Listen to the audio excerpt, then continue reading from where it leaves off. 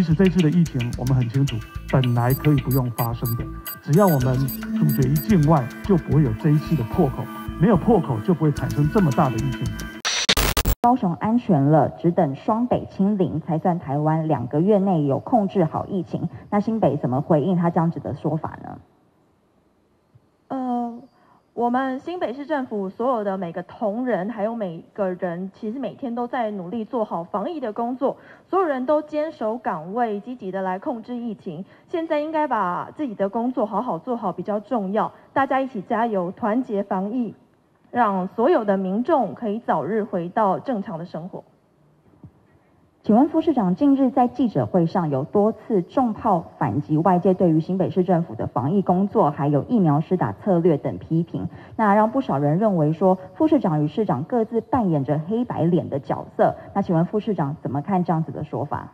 我想市府没有所谓扮演黑白脸哈，而且我的脸应该也没这么黑哈。呃，市长是一个非常信任干部的首长，所以他对于干部用的时候，他就会特别提到。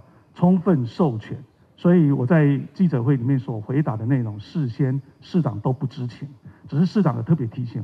他跟我说：“何冉，你是事务官出身的，我们事务官出身的，就是为国家做事，实事做实事，一步一脚印。我们要的是服务人民。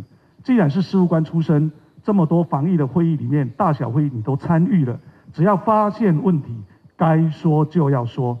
但可是市长有一个要求。”他特别要求一件事，绝对不可以乱讲，不可以乱批评。我想在市长这样的授权下，我想针对问题，呃，其实这次的疫情我们很清楚，本来可以不用发生的，只要我们阻绝于境外，就不会有这一次的破口，没有破口就不会产生这么大的疫情。所以看了这么多人国人走了，我想市长也表达出其实非常的不舍。那我们的工作同仁看在呃这个一边做，看在眼里。这个感受在心里其实也是非常的难过。所以如果有些地方说话比较直接的地方也请大家多多包涵。